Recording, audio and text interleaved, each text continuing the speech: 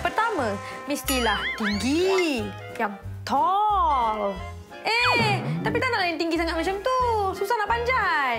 Maksud saya, tinggi budi bahasa. Yang kedua, mestilah berkulit dark. Hmm, eh, bestnya tak sabar nak kahwin. Yang ketiga, mestilah handsome, macho dan sado.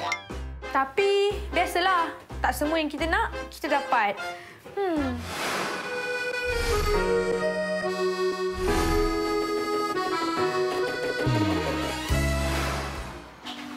Duduk atas ni ke?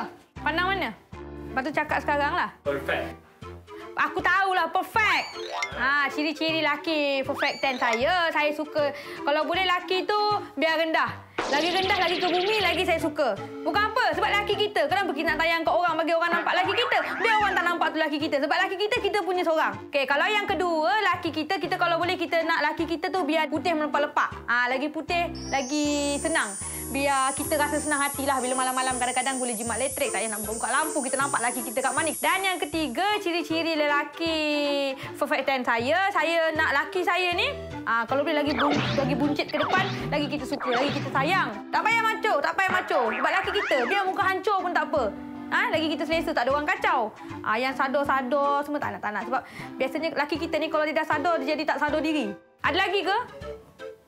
Baliklah aku. Banyak lagi masak anak ambil anak sekolah lagi.